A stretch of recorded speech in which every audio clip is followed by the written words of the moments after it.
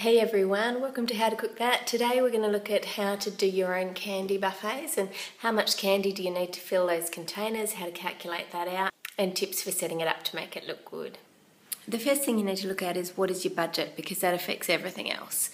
And then after you've decided how much you have to spend, then you need to get some containers to put your candy in. So to start with, let's look at what you already have. So look in your cupboard for things like uh, glass vases, they're always really good.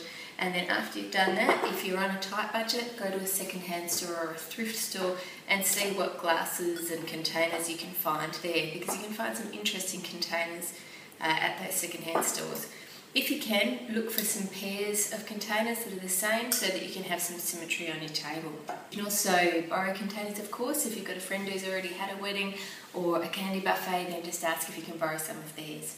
The next thing is to figure out how much candy is going to fit in each of your containers. To do that, we're going to use pasta here, but you can use rice or whatever you've got handy and fill your container.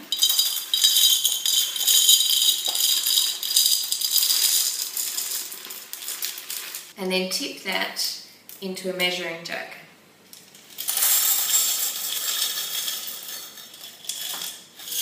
So that's two cups.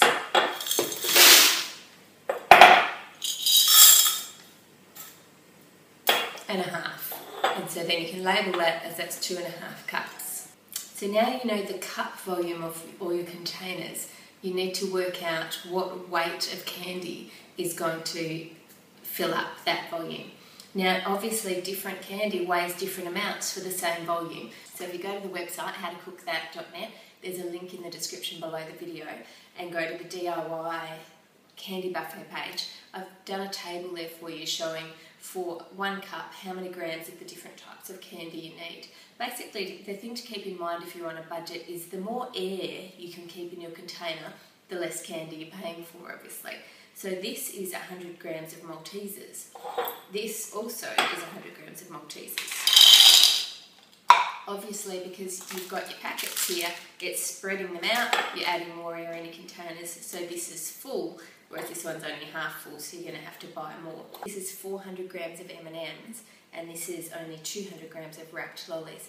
So again, it's the same principle. You've got the wrapping is pushing them further apart, so you've got a lot more air in that container.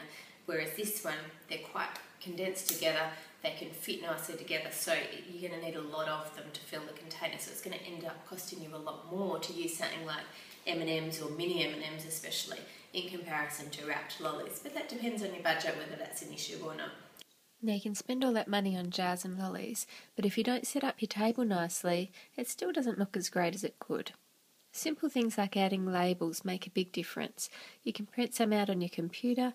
I've used sequins here, but you can use ribbon, and attach them to your containers. Then you can add a tablecloth or two. Try and stick to one or two colours. One thing that makes a big difference on candy buffets as well is if you can add some height in the centre.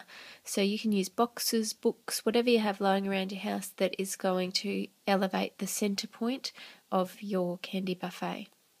Symmetry is your friend when it comes to candy and dessert buffets, so try and have some elements that are the same size and shape on either side of the table. Now, most candy buffets will also have a centerpiece, like a cake or something like that in the middle. You don't have to use a cake, you can use feathers or a flower arrangement, something else that's non food in the middle if you don't have a cake that you're using for the event. Now, this candy buffet is still missing things. It needs something for people to serve with. Just a normal spoon will suffice for some containers.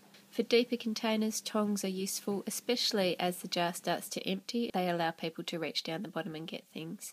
Now, this candy buffet is starting to look pretty good, but it's still missing something which a lot of people forget, which is here the backdrop.